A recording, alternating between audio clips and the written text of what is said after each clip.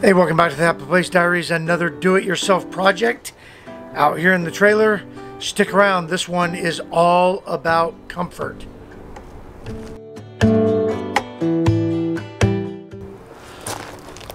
Hey, welcome back. This is Jerry, and uh, in this video, we're going to talk about uh, creating a more comfortable environment in your sleeping area uh, by insulating this cargo area.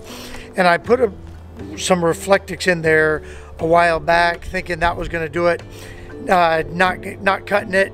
Uh, when cold air starts going into this compartment, it gets really cold. So we just went and bought some quarter inch insulating foam board. We're going to cut that down to size and we're going to put it inside the framing here and we're going to take you along with us. So uh, this will be a good project. And I'll tell you why uh, we decided to do this. So on our last outing, we had the grandson with us and he was in the bed and kind of pushing me up against the wall as well those of you with pass through storages know that these walls and this wall right there, well, that's the bottom of the bed. And as I rolled over and touched the wall, I noticed that I was feeling cold air. So we're gonna put that foam board in right in the framing here and I'll get a close up. And uh, that will not only quiet things down a little bit, not that we have a noisy compartment, but it will definitely increase the R value in there and we're not adding really any weight uh, to the trailer. So first thing we need to do is get all of this out.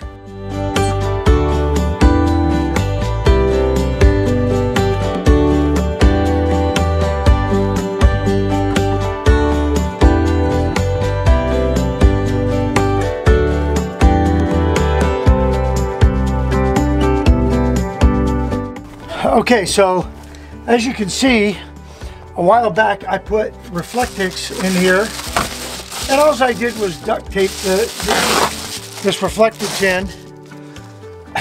It's, it's, you know, it served its purpose. Um, but this wall right here, uh, right behind this wall is our water pump. Right up here is my wife's closet, and right here's the bed. On my side, since I don't have the pump, I get nothing but uh, cold air in there. And so, look at this, the pass-through storage here. what we're gonna do is we're gonna take this paneling and fill in everywhere there's Reflectix. And then I'm gonna do it up here because what I can do is lock it in between the frames here and the same thing in here. So, so what we're going to need for this project is I've got the, the foam core board.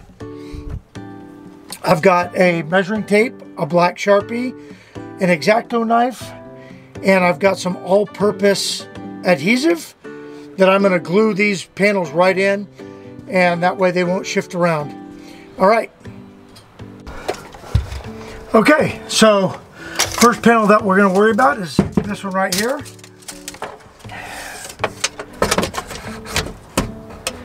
And we're gonna go 21 and a half by 14 and a half. I'm gonna go measure, cut that.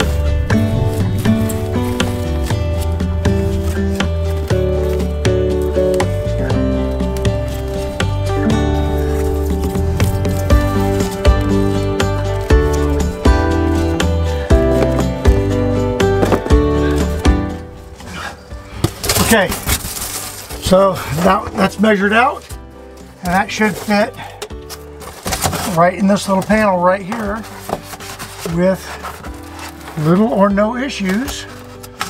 And I'm gonna put, oh, I don't even know if I'm gonna have to adhere that. But there you go. Okay, four more panels on this side to go, and then we'll do the top.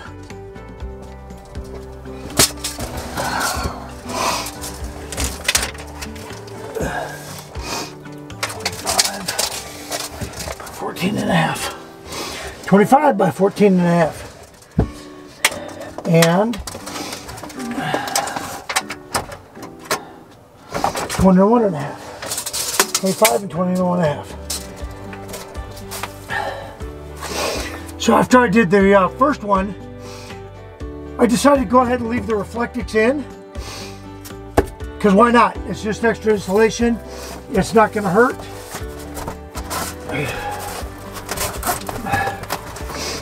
This is the one, this is the side that really matters because this is where there's nothing on the other side other than my dresser. So, uh, there we go.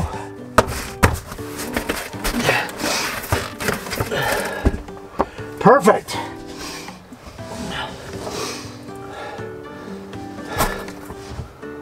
All right, that looks good.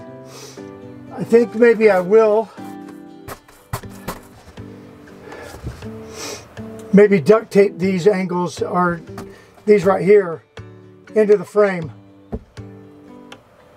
Yeah. And then we'll worry about getting these covered. Okay, looks good.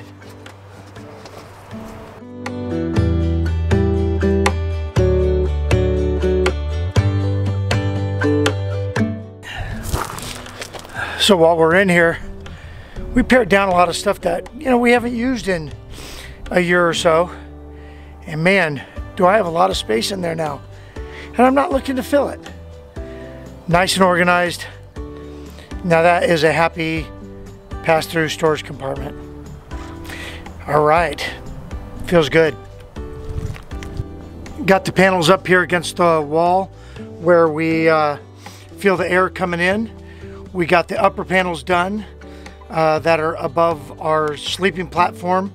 Didn't worry too much about the middle ones and I didn't worry about the ones that are like right here. I got part of this one, but this is where the closet is. So um, that to me wasn't uh, as important as getting uh, these sidewalls in right here.